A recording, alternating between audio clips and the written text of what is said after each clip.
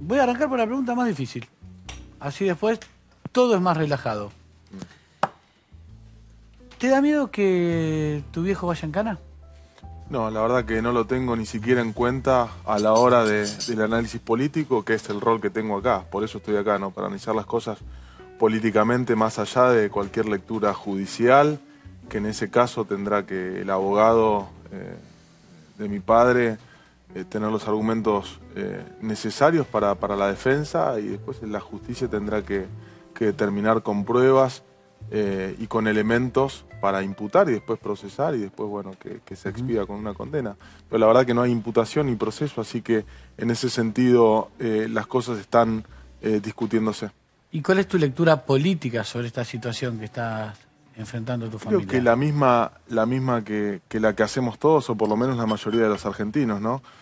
Yo creo que nadie, ni siquiera los medios de comunicación que tienen tratamiento sobre este tema, pueden escindir la cuestión política de la cuestión judicial o la cuestión mediática, ¿no?